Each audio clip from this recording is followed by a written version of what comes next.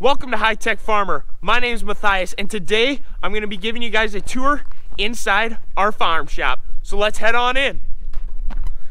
Let's see what we got. First thing we got to do, kick the lights on. And here we are. Before we get walking around the entirety of the shop and I show you guys some of the cool things that we did inside our farm shop, I want to show you my number one favorite thing in our farm shop. And as simple as it is, it's this washing sink right here. Because many times we come in from outside, whether power washing equipment, working out in the field, and you get your hands dirty and you want to wash them, rather than having to walk back to the bathroom, we put a working sink right here. That way you can wash off your hands and just hop right back on outside or get in the truck or a tractor. It's really nice and handy to have right inside the door, and that's my favorite thing. Now I'll show you guys my least favorite part of the shop. That is this right here, this wall. That's because our shop is 80 feet long, 60 feet wide, and my least favorite part is that it is not bigger. When we built the shop in 2009, we thought 80 by 60 covered all of our needs for the equipment we wanted to put in here. But as our farm's grown, technology's changed. I wish our shop was a little bit bigger. I don't think anyone that's ever built a shop, let alone any shed, has ever, after the construction's done, said, man, I built it too big. But let me show you guys around our 80 by 60 shop, starting up here from the door we came in. Coming in on the south side of the building, we have our two large overhead doors, a 14 foot wide door and a 30 foot wide door. This one's especially nice when we want to bring the combine in or the planter in overnight. And our 14 foot door, we usually just bring in some trucks or trailers that we were using and running around with on the farm. I can say I'm glad we chose a roll up door over a hydraulic door. That was a decision we made when we built the shop just because our yard's kind of condensed. We didn't want to have problems with the door swinging up and hitting machinery that we have parked out front. And seems like our overhead door that we have is served us well. A thing I really like about the overhead doors is we have these windows here.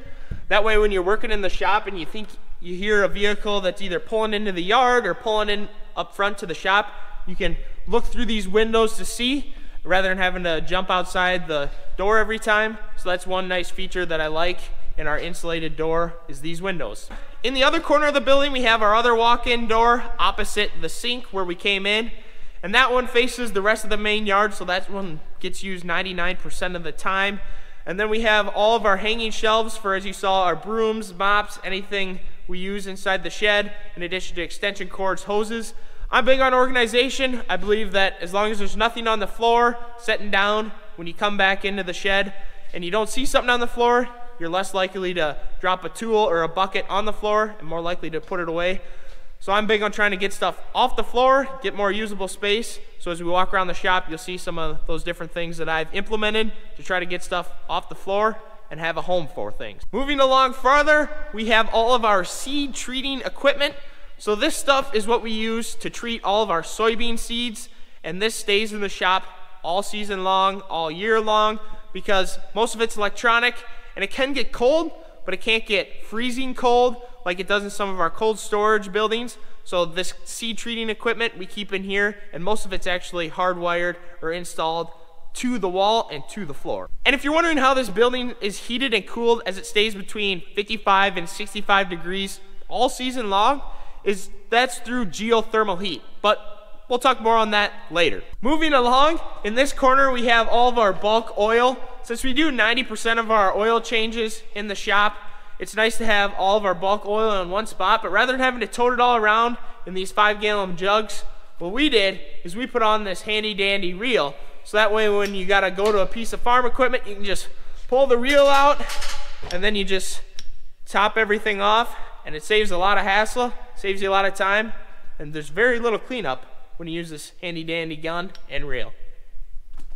One thing to point out, especially here on this back wall, is if you see we have this piece of trim here three feet up from the floor.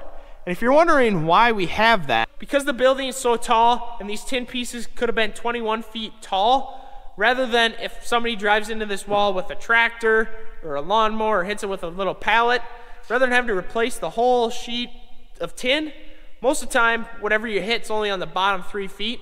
That way for 15, 20 bucks, you can just get a new little small piece, fix it up, and not have to replace a two, $300 full sheet of tin. Moving along our back wall now, we're gonna go into our supply room slash bathroom. But before we do, and somebody asked in the comments, what brand building is that? Here's the logo. Somebody down in the comments, let everybody know, and I'll pin the comment to the top. Let's head on in. Here is the back supply room and bathroom. As you can tell, we have our air compressor, water softener, water heater, all in this room. Main reason, we can shut the door, and since this stuff makes a lot of noise when we're working in the shop or trying to talk to somebody on the phone or somebody that's here, you're not hearing the air compressor run all day, so it's nice to have this stuff in a closed room on its own. And in here we have all of the geothermal hookups. These are basically the lines that they have running underneath all the concrete that supply heat and cool into the building. And there's the pump in addition to all of our supplies that we need on the farm. As much as possible, we like to keep all of our supplies, filters, aerosol cans, everything here because whether it's me, mom, dad, brother, whoever that's looking for something, whether it be a grease can, 1030 oil, um, spray paint, this is where we like to keep everything. That way everyone knows where to look. So here's all of our supplies and probably over $2,000 worth of filters and everything that's on these shelves.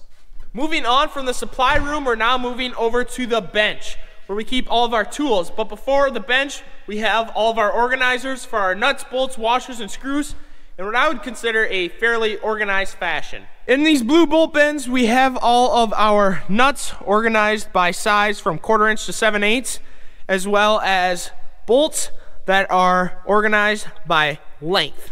Some other things we have organized here are our hex keys, roll pins, light bulbs, set screws, machine screws, all of our washers, spacers, everything neatly organized right here. Our farm hasn't always been this organized when it comes to nuts, bolts, screws, washers, and all the other hardware that's behind me. We used to just have about 15 five gallon pails like this one here on the floor, and each one, one would say bolts, one would say screws, another one would say washers. And anytime you try looking for something you need, you'd come into the five gallon pail, dig through, a lot of times not find what you need, go to town, buy it. Well, during COVID of 2020, I was home from college looking for a project, something to do. So I dumped out all those five gallon pails, started organizing, bought up a bunch of organizers, and here are the results.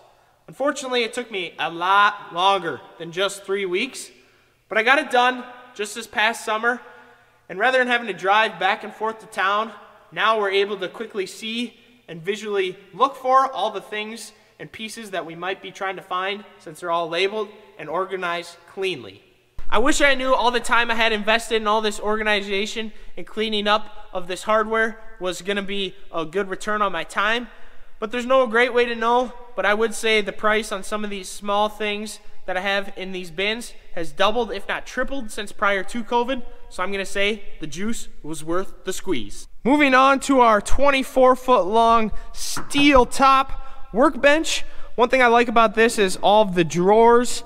That way we're able to put all of our tools away at night and they all have a home rather than setting them out on top of the bench or trying to hang them up. I think it looks a lot cleaner this way and this workbench works good because we're able to label where everything goes. I'm a big believer that all of our tools should have a home because if you think of it kind of like a kitchen, everyone has a silverware drawer. That way, everyone knows that this is where the silverware goes. Similar idea here in the shop. We have a screwdriver drawer. That way, whether whoever comes to the farm, they look, they see screwdrivers, that's the drawer where all the screwdrivers belong. On the floor here by the workbench, we have some of these rubber mats that we picked up from Menards. These are nice because sometimes if you're really working on something for quite a few hours, you hate to stand on concrete forever.